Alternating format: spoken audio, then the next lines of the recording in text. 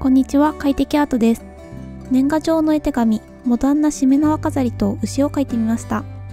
今回使う画材です。吉祥の岩彩24色セット、筆ペン、彩色筆、面相筆、裏面がハーギタイプの画線紙、呉竹の青金色を使います。まずは円の形を少し下書きしておきます。丸いもので鉛筆で型を取っておきます。次に筆ペンを使います。飾りの部分から描いていきます。今回はメインになる飾りはこちらの大きな洋菊です。真ん中の花びらが集まっているところから描いていきます。もう一つ外側の花びらを描きます。手前側の花びらは裏側が見えている形で描いています。また外側に尖った花びらをつけていきます。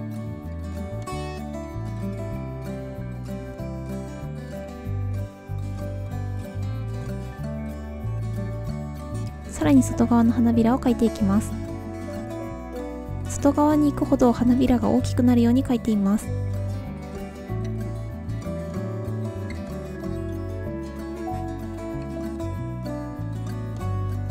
最後に隙間が空いているところに一番奥の花びらを描き出しておきます。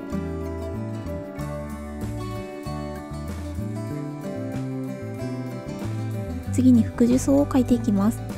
真ん中のおしべやめしべを点々を使って描いています。次に手前側の花びらを描いていきます。カップ型で咲いているようなイメージで手前と奥の花びらを描いています。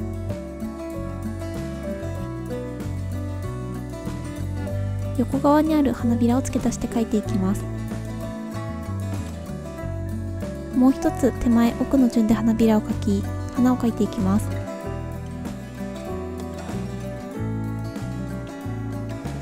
次に福寿草の葉っぱを描きます。彩色で表現していくのでここでは葉脈のところだけを描いています。こちら側には松を描いていきます。細い線を扇形になるように連ねています。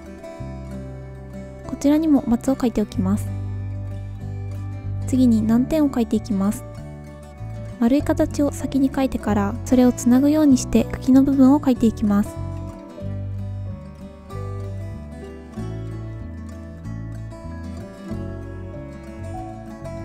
下側にも難点を書いていきます。このチャンネルの絵手紙やイラストは全て私のオリジナル作品ですので動画を参考にして模写やアレンジを自由に楽しんでください。気に入っていただけましたらグッドボタンチャンネル登録もよろしくお願いします。次に菊の葉っぱを少しだけ描いておきます。次にしめ縄飾りの端っこの縄の部分を描いていきます。払うような線をたくさん描いています。端の部分は途切れ途切れの線でアウトラインをとっています。左下の部分も端っこの方の縄を描いていきます。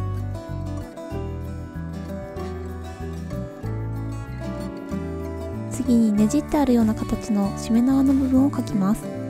ひらがなの詩をたくさん描くようなイメージで描いています。途中で描きにくい角度になったりしますが紙を回しながら描くとうまくいくと思います。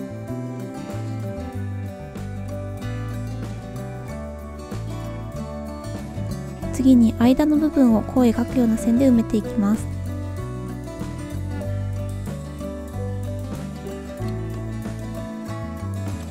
内側のラインも同じような感じで形を描いていきます。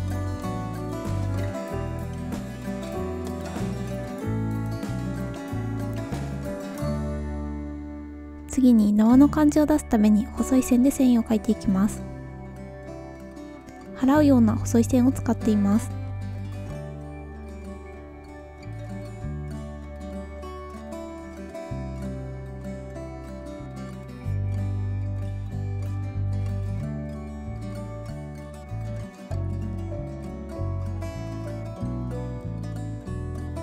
最後に真ん中のところに牛を描いていきます。簡略化して角張ったイメージで牛の形を描いています。角と耳を描き入れ胴体を描いていきます。輪っかの中で寝そべっているような形にしてみました。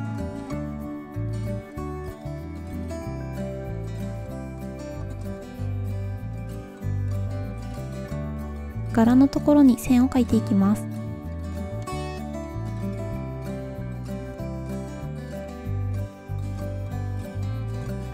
ぽや目を描き入れます。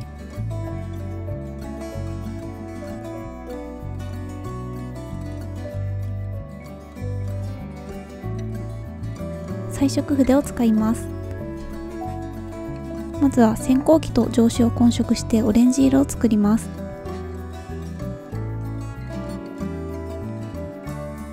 髪が透ける程度の色味です。大きな菊の花に下塗りをしていきます。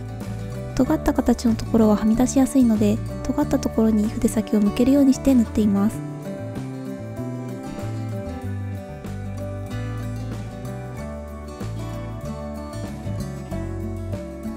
次に上昇を加えてもう少し赤みの強いオレンジ色を作ります。花びらの付け根のところに点々と色を塗っていきます。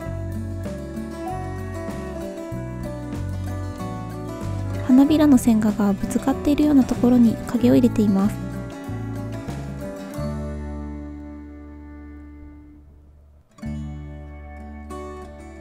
一番奥側の花びらもこの色で塗っておきます。次に水をつけた筆で色の境界をなじませていきます。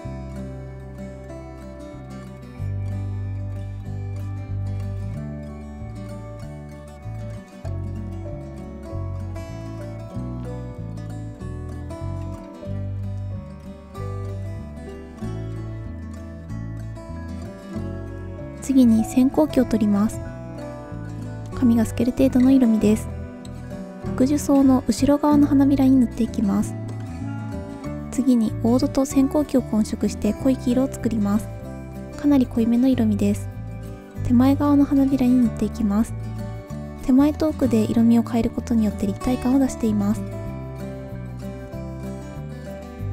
若葉を少し筆先に取ります。薄めの色味です。福寿草の真ん中のあたりに塗っておきます。次にセージ色を取ります。濃いめの色味です。福寿草の葉っぱを塗っていきます。線画の点々に合わせたような感じで短く払うようにして塗っています。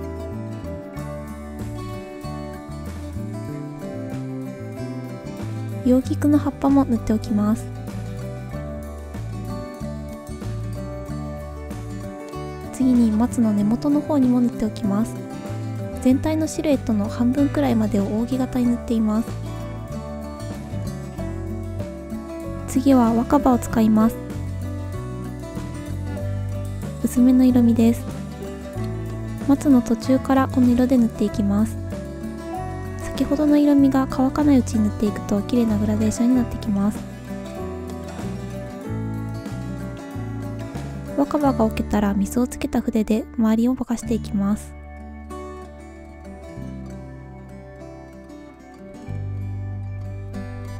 次に紅を取ります。濃いめの色味です。難点に塗っていきます。今回は最後に金を使うのでハイライトは金で入れることにしました。もし金を使わない場合は線画に沿って円を描くように塗って真ん中に白い点を残しておくと光が当たったような感じになると思います。次にしめ縄の部分を塗ります。薄めた金オードで下塗りをしていきます。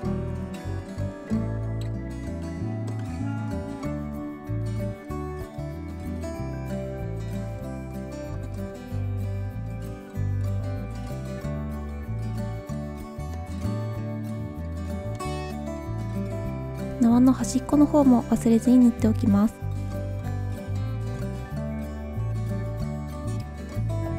次にウグイス茶緑と金黄土を混色した色を作ります。水を加えてやや薄めの色味です。陰っているところに塗っていきます。ここは線画をなぞるような感じで少し立体感をつけて塗っています。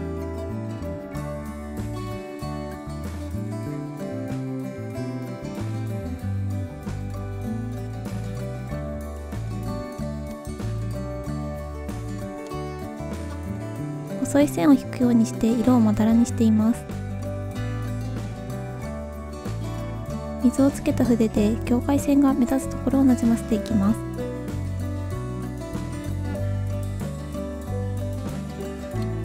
こんな感じでしめ縄飾りの部分が完成しました。次は牛の色を塗っていきます。本藍を取ります。やや薄めの色味です。線で囲った黒い部分に塗っていきます。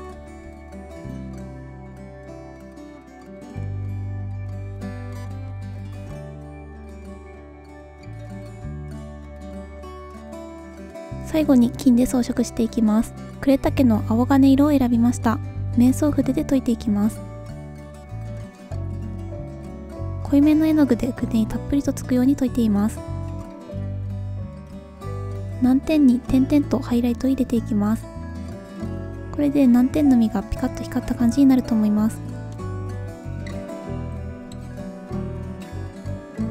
あとは福地草の花粉の部分や葉菊に点々と装飾をしていきます。ここはコサージュとかによくキラキラがついているようなイメージで描いてみました。松の葉にも細い線で金を入れています。しめ縄の部分にも金を入れていきます。線画に合わせて払うようなタッチで金をところどころ入れています。動画で見ると少し色味が分かりづらいんですがはがきを傾けて角度をつけてみるとキラキラと光るので綺麗だと思います。角にも金を塗って完成です。こんな感じで完成しました。しめ縄飾りの円の真ん中に牛という漢字を入れて下の方にはメッセージがけるように余白を開けています。